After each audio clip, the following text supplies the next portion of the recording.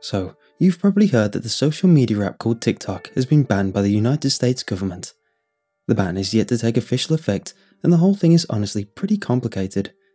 The reason most sources have cited it is because the app is Chinese designed and has been implicated with various breaches of privacy and illegal collection of data. This whole thing is basically a proxy cyber war between paranoid fractions, if you ask me. But honestly, it doesn't even matter. Now, as rewarding and constructive as it can be to discuss politics on the internet with strangers, I'd rather not go down that path right now. It's not the real reason it got banned anyway. I am. At least I think I am. I imagine half of you right now probably hate me already, but please, just hear me out. Feel free to lambast and or praise me in the comments if you wish, but I'm not here to make myself famous or gain any sort of clout. I'm here because something truly horrifying happened, and the world deserves to know the truth. I was an avid user of TikTok, regularly wasting hours just browsing random videos and periodically making my own. My lawyer has recommended not sharing my username for reasons that will become evident soon enough, so sorry in advance. I had a modest following, but nothing crazy. Most of my videos involved me doing dumb little skits or filming my cats doing something funny. Never had anything big, and by all accounts, it was nothing out of the ordinary. I lived with my parents, and one night I was home alone playing some Apex Legends when my bedroom door just suddenly shut. It made me jump, and I turned around to see what happened. I fully anticipated seeing my brother or another family member with a smug grin, but no one was there. I got eliminated shortly after and got up to check the house, still a bit unnerved. My parents were away for the weekend visiting my grandma, and my brother was supposed to be staying the night at a friend's house. I figured he must have come home instead, but after searching the house and calling his name, I didn't find him. I figured he was hiding to try and scare me, because that asshole loves to make me jump and it's not very difficult. I finally decided to call him, only to find out he was in fact still at his friend's house. I felt chills slither down my spine when he sent me a selfie of himself to prove it. I thought about calling the police, thinking that someone had broken in, but there were no signs of that being the case. Now, this ain't the movies, and I knew immediately that my door wouldn't have shut on its own due to a random gust of wind or some draft inside the house. I was on edge the rest of that night, but nothing else happened. A few days later, however, I was lying in bed at around 2am when I heard something whisper my name. I shot up right away, but saw nothing in my room. It sounded like it came from my closet, but when I flicked the lights on, there was nothing there. I began to grow seriously unnerved by that point, and just sat around with my heart racing for a couple of minutes. Just when I had finally calmed down and was about to turn the lights back off, a cup suddenly fell from the dresser. Water splashed all over the ground, but I barely noticed. A rational part of my mind wondered whether a random tremor from the earth was responsible, but that thought ceased with a single noise. Knock. A sudden, muffled knock reverberated from somewhere in my room. By this point, I was really beginning to panic, and I was about two seconds away from sprinting out of my room and screaming like a banshee. I don't exactly know what stopped me from doing that, to be honest. Is someone there? I don't know why I asked the question either, but to my surprise, knock. My heart skipped a beat, and I tried to determine where exactly the knock was coming from. Like before, I thought maybe my brother was messing with me, but it was past midnight and I knew he had to work the next day. Curiosity then mixed with horror, and I formulated an idea. I pulled out my phone and began recording. Can you hear me?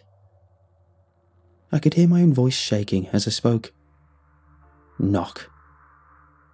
A cold chill swept down my spine, but an idea struck. One knock for yes and two for no. Okay? Knock. To ensure it understood, I decided to ask a question to see if it would actually respond correctly.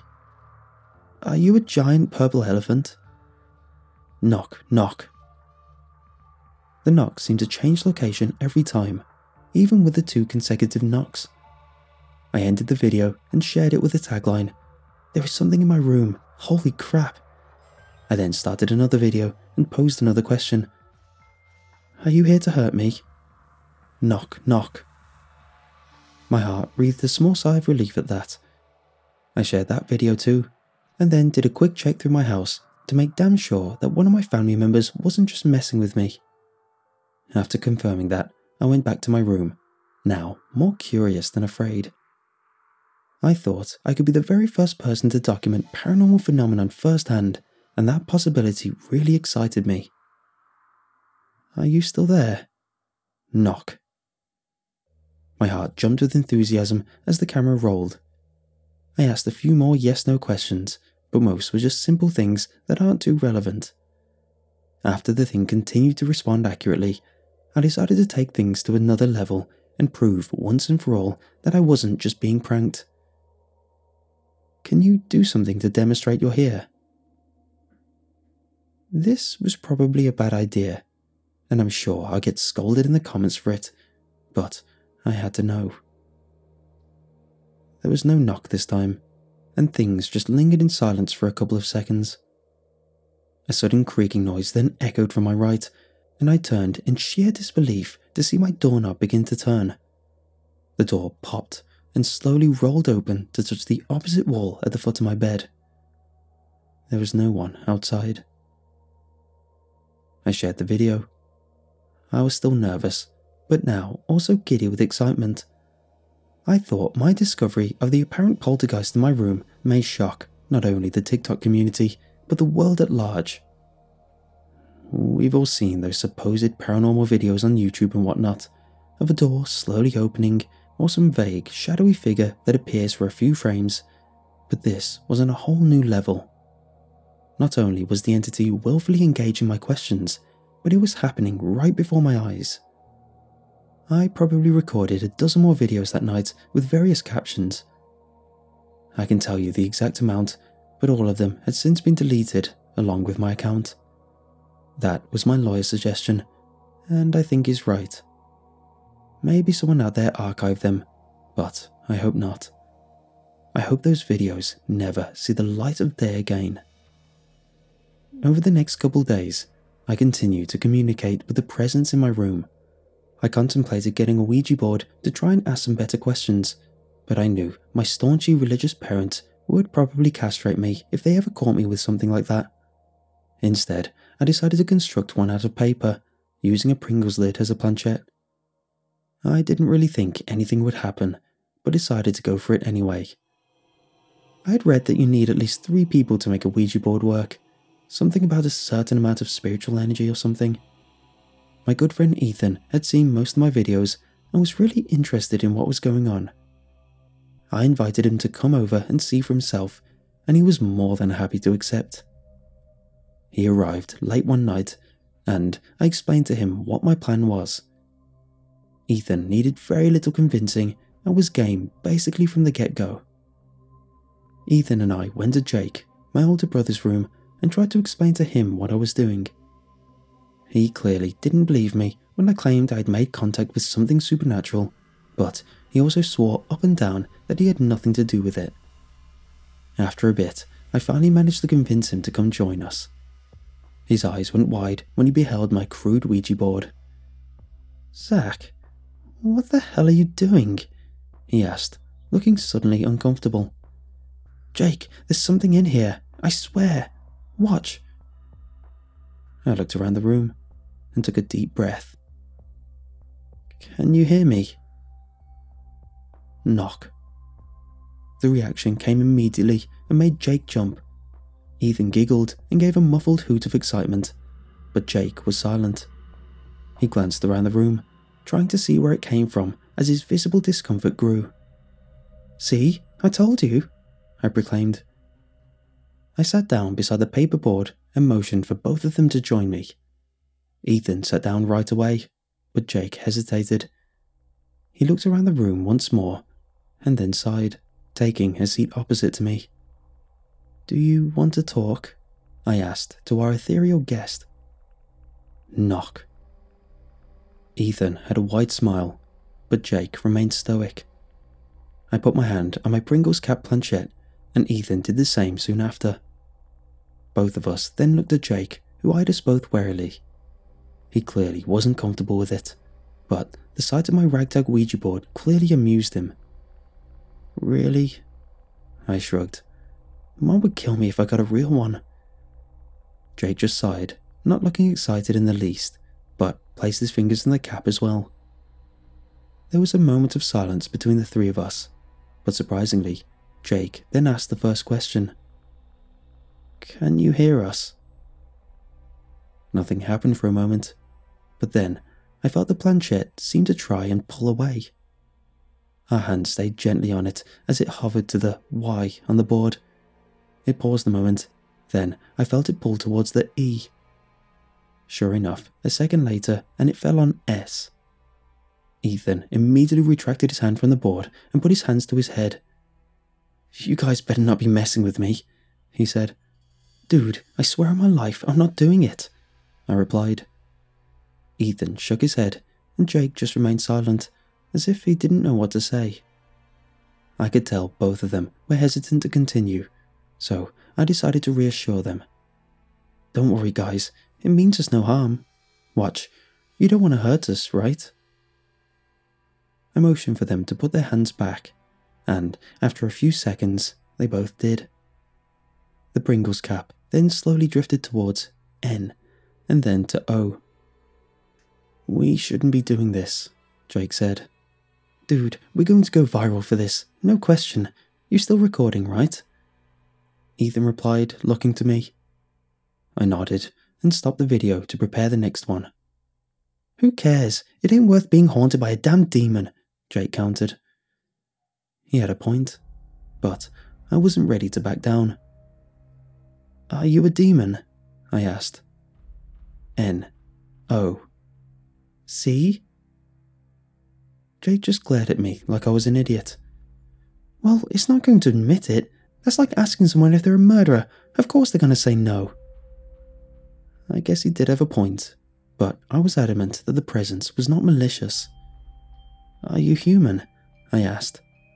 The planchette began to slide once more. N. O. Chills descended my spine after that. Jake and Ethan were both silent. My curiosity was insatiable by that point. What's your name? I asked. O S Y R A. I just looked at Jake and he hunched his shoulders.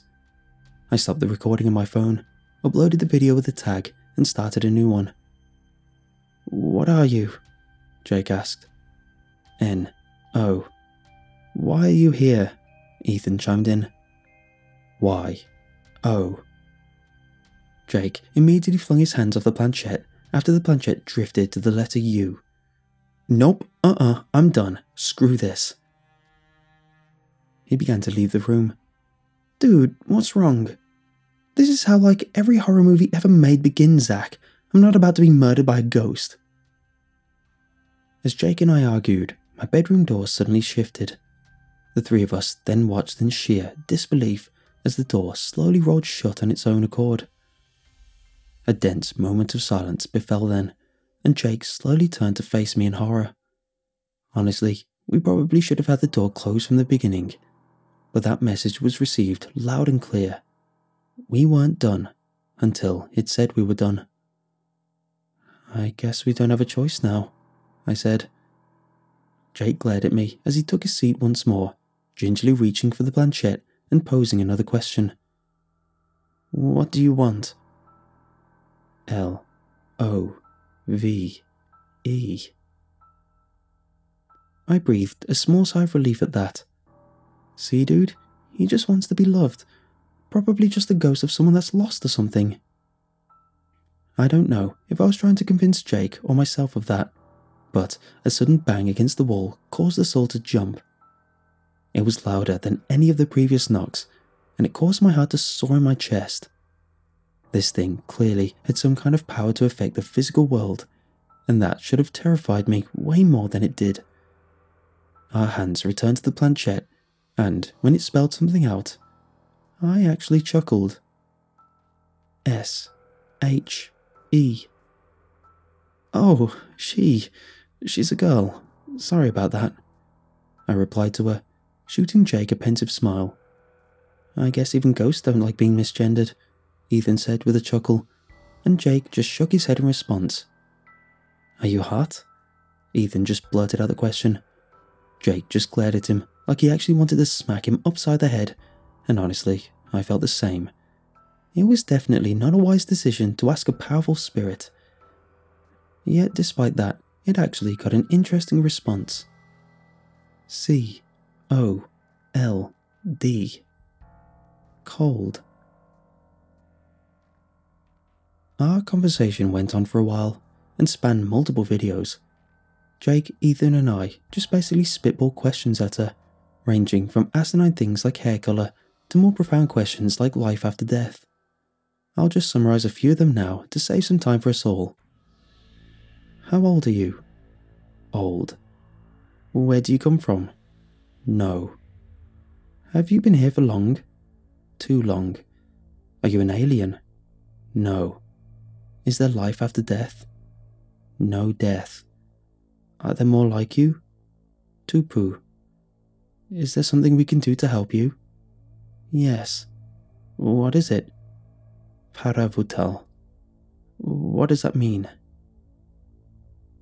That was the last question she responded to. We asked several more questions, but the planchette didn't move again. I figured that meant it was the end of the conversation. Jake stared at the board for several minutes before abruptly rising and opening my bedroom door to leave. Ethan and I just stared at the board in silence for a few minutes. For some reason, I was suddenly exhausted. I mean, it was the middle of the night by that point, but prior to our little game, I was wide awake. I work nights too, so I'm used to being up all night, but my lethargy made me wonder whether the exchange had taken a toll on my emotions or something. Ethan seemed to feel similar and announced not long after that he was going to head home. I bid him goodbye and locked the door behind him.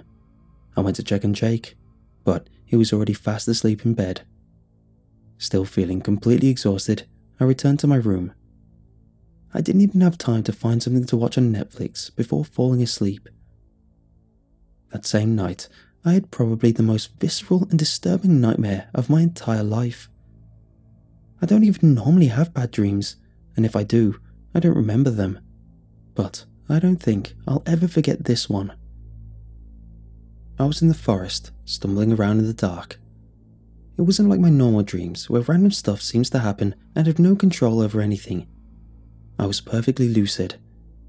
I remember touching the rough bark on the trees and feeling the velvety leaves as they swayed in the breeze.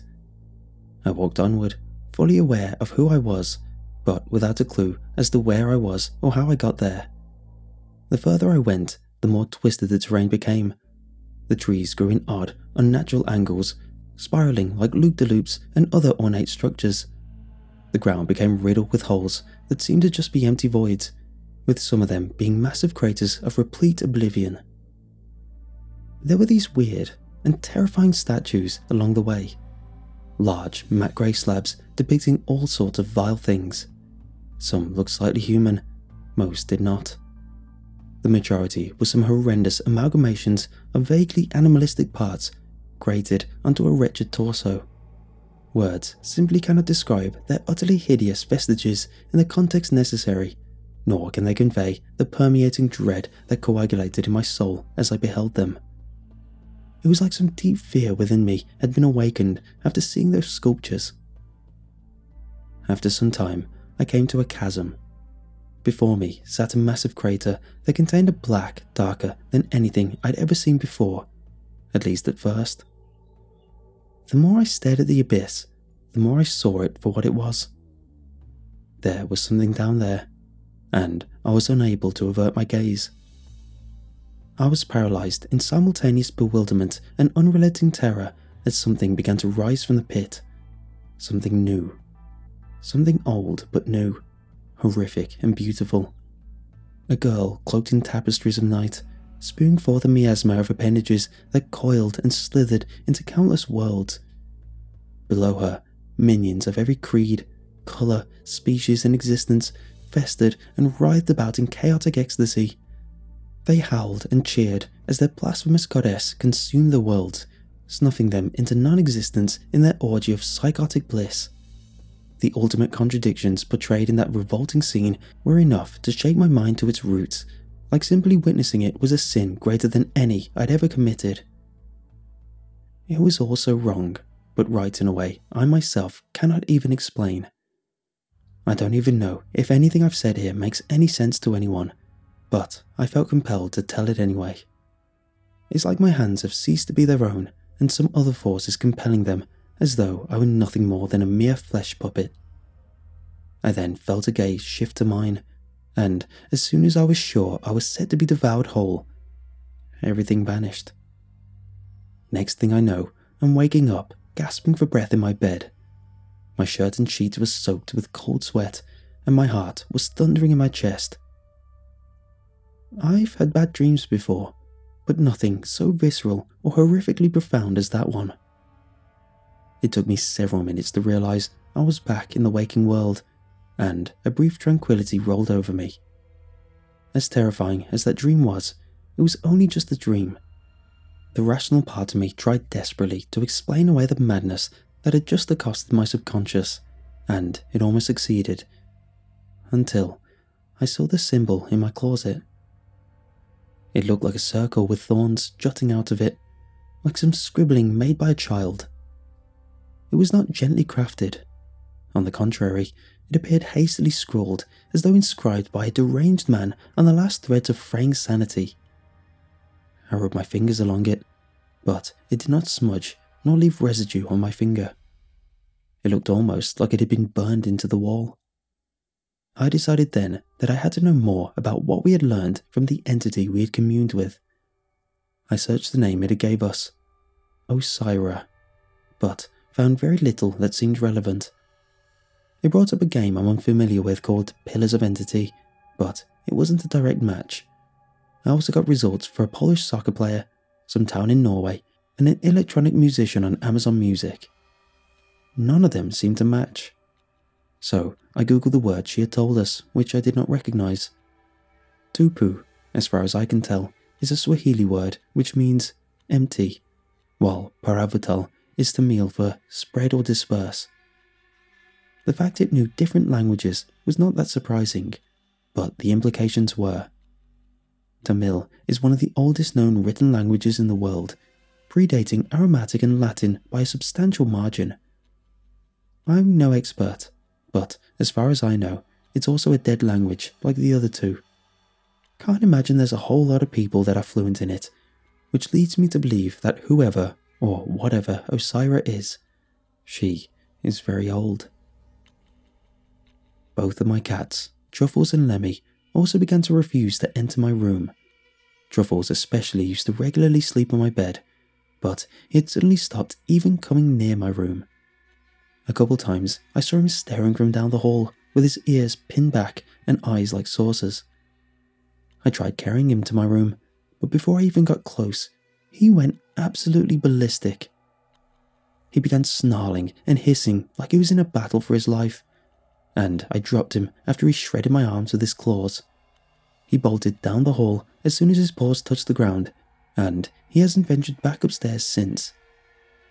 My plausible deniability continued to dwindle the more I learned and pondered upon it. Even if both Jake and Ethan had played along and moved the planchette to prank me, I couldn't explain the knocks. To be honest, I'd long since abandoned the notion that either Jake or Ethan were playing me, and that was before I made another, truly unnerving discovery. By this point, the series of videos that I'd shared on TikTok had started to garner a bit of buzz. Several of them had a couple hundred likes and dozens of comments. It was the usual stuff you see on paranormal videos, with people claiming it's fake, while others offered advice or tried to explain what was happening. Most people just made meme references though, or told me to burn down the house. There was one that stood out from the rest though. Some girl I didn't know had commented under the video with four simple words that made my spine tingle. I've seen her too. I clicked on her profile, and like mine, it was nothing special. Just videos of her dancing and doing lip sync videos and stuff. She had more followers than I did, but nothing that would be considered influencer status. Her latest couple videos drew my attention right away. The first one was much like my first experience. The video showed her in what I assume was a bedroom asking questions and receiving knocks back just like I had. It was captioned something like, Ong, something is in my house. Her next video gave a bit more context. The first thing it showed was her, and she looked like she had been crying. She went on to explain that she had seen a video on TikTok of three guys using a ghetto Ouija board to speak to something called Osira. I knew immediately she was referring to my video. She then actually began to cry and muttered something about thinking it was now in her house too.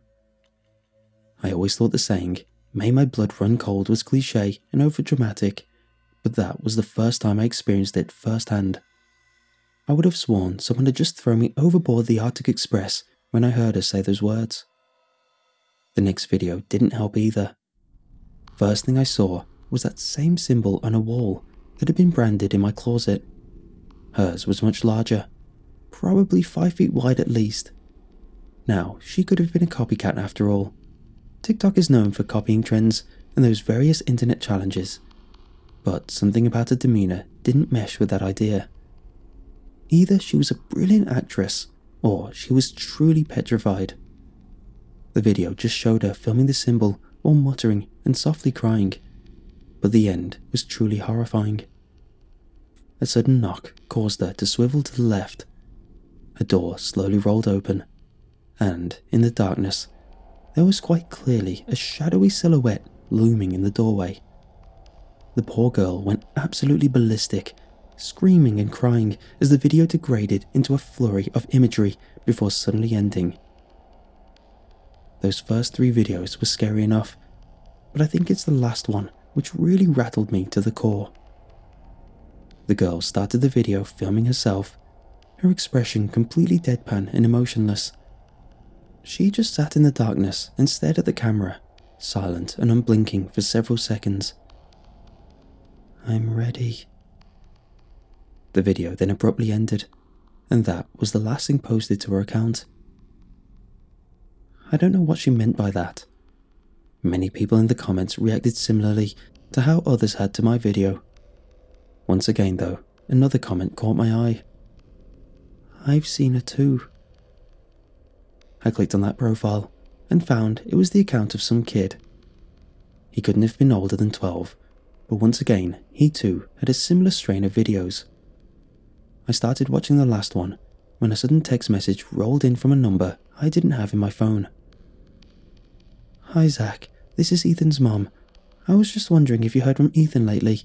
He said he was over at your house last night and he didn't come home or text. Just wanted to make sure you guys are okay. Hope you're good. Once again, my heart plummeted to the lowest possible depths in my chest as I read those words. I dialed Ethan, but he didn't answer. I tried that three more times while checking all of his social media accounts. There was no activity on any of them, and he never answered my call. I began to seriously freak the hell out at that point and ran from my room to check on Jake. Jake, Jake, wake up, man, we need to talk, I said, barging into his dark room. I thought I saw him still sleeping in bed, but as I tore the covers away, I realized it was empty. I thought maybe he had already left, but as I turned to walk out, I saw eyes staring at me from the closet. My heart skipped a beat and I stumbled back into the wall as I slumped down. My heart was soaring in my chest, and it took several seconds for me to realize he was just sitting in his closet staring vacantly, completely unreactive to my sudden intrusion. I was partially relieved, but as I tried talking to him, I couldn't get him to respond. I grew angry, shouted, and shook him, but he didn't react at all. He was completely catatonic, like he was in some kind of trance. He didn't even blink. Nothing I did could shake him from whatever state he was in. No matter how hard I shook him, pinched him, or even slapped him, he wouldn't respond. Now realizing that something was very, very wrong, I ran downstairs to my mother on the verge of a complete mental breakdown. I tried desperately to explain everything that had happened, but I probably didn't make a whole lot of sense. She finally seemed to clue in when I mentioned that something was wrong with Jake. She rushed upstairs and I tried to get him to snap out of it, but again he didn't respond. I dialed the police, telling them about both Jake and the apparently missing Ethan. Again, I don't know how much sense I made on the phone, but the lady eventually confirmed that officers were on their way.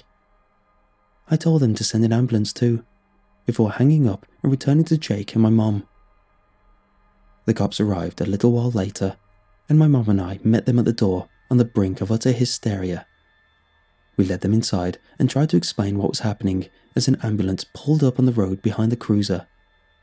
Once again, I doubted if they could make heads or tails of what we were telling them. My mom's priority was obviously Jake, but before she could lead them or the EMTs upstairs, something truly unpredictable happened. I was trying to tell one cop what had happened when something large struck the other cop hard out of the corner of my eye. The impact caused us all to collapse. When I looked back up, I saw Jake, who had apparently just leapt from the second floor window on top of the cop. Without a word, he began to beat the officer mercilessly, driving his fists into the poor guy's face again and again with vicious intent or bearing an expression that seemed utterly devoid of either empathy or humanity. The other cop quickly regained his footing and tackled Jake off his partner. They wrestled around for a moment as Mom cried and begged both of them to stop. I stepped in as well, helping the officer subdue my brother as tears stung my eyes. I didn't understand what was even happening. The two of us eventually managed to restrain Jake, but the damage had been done. The officer he attacked was an older guy, and his face looked like he had just sparred with Manny Pacquiao and Mike Tyson at the same time. The EMTs rushed in to help, and more cops soon arrived on scene. I just held my mom as she cried. Jake has never been a violent person, and I don't understand what possessed him to suddenly attack that cop like that. He really did a number on that man, too, and he's still in a coma. They're not sure he'll ever recover. Jake was taken to jail, and he has yet to say a single word to anyone since the brutal attack. It's like he's still in a trance, almost like his mind is being controlled. Over the next few days, my mom, dad, and I were interviewed by the cops several times. My story was obviously not taken seriously at first, but I didn't know what else to say. I showed them my videos on TikTok and how other users seem to have been witnessing the same phenomenon. They really seemed to grow nervous at that point. I mean, a paranormal explanation for a police assault is just about the dumbest possible excuse someone could make, right? No one in their right mind would believe it. But it was all I could tell them. One of the interrogators said that they were going to contact a special investigation unit and they would come to our house to interview us a few days later. I don't think I slept at all during that time. I kept hearing voices and thinking I saw shadows in my room. Obviously, the things that have happened in the last little bit have done a number on my mental health, and not sleeping has obviously exasperated that. But I know there's more to it than that. The Special Investigation Unit finally knocked on the door, and they looked about as generic as I expected them to. Two men, black suits, with heads utterly devoid of hair of any kind, even lacking eyebrows. The way they spoke was almost robotic. It's hard to explain, but I assume they were FBI or CIA, despite them never actually stating who they worked for. They told us we needed to leave our house while they conducted an investigation. We were too exhausted to argue by that point, and we simply packed our things and drove to a local hotel with Truffles and Lemmy in tow. We've been here almost three weeks now, and we still have very few answers. Jake is facing a charge of first degree assault on a police officer whom remains in critical condition. Ethan's whereabouts are still unknown, and no one has heard from him. His bank account hasn't been touched, and his phone hasn't been used. I tried to call him more, but his phone just goes straight to voicemail now. It makes me shudder to think where he is or what he's doing. If you happen to see a guy with curly brown hair, about 6'1, heavyset with glasses, who responds to the name Ethan, stay away from him. I don't think he can be trusted anymore. Of course, it came out in the news a little while later that the United States government intends to ban TikTok, citing national security concerns. Maybe that's actually true, but I can't help but think there's something much worse at play here. This is all my fault, and I know that now. All I can do is ruminate all the things that have happened lately, and I think I've learned a few things. The nightmares I had, and the response from the Ouija board. That single word that keeps coming back to me. Paravotel. Spread or disperse. The video from that other girl on TikTok who said, I'm ready. Is truly worrying to me now. I think that's what this thing, this Osira wants. To spread and grow her influence I think TikTok became the medium for her to do just that, and I think I let her out. It all started with me, and I am so very sorry for how ridiculously stupid I've been. I know my words are hollow, but I don't know what else to do. I don't think Osira is a demon. I think she's something else entirely. For all I know, she's some eldritch abomination hell bent on devouring our planet I keep having dreams about her, about war, devastation, and pandemonium of all kinds. She is chaos, madness, discord, and debauchery. Just look around at the state of the world right now. I'd say her influence is already being felt. I don't know where we go from here, but if I were you, I would avoid those videos like the plague if they're still out there. She may just choose you next. Either way, a rogue deity of chaos invading the planet through the internet sounds like the most 2020 thing to happen all year. Be safe, everyone. Bad things are on the horizon.